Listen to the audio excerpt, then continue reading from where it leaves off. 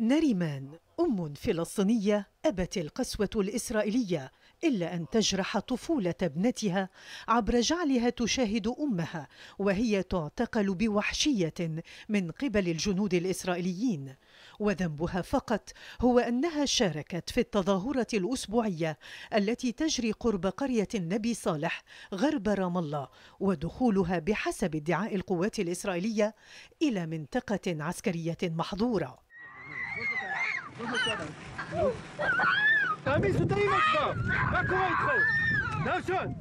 One, one.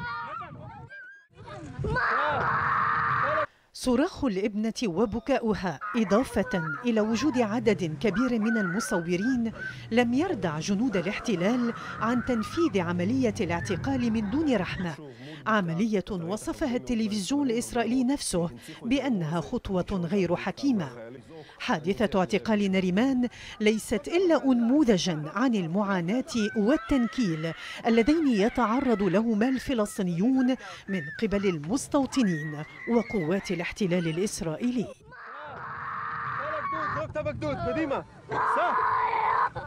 يلا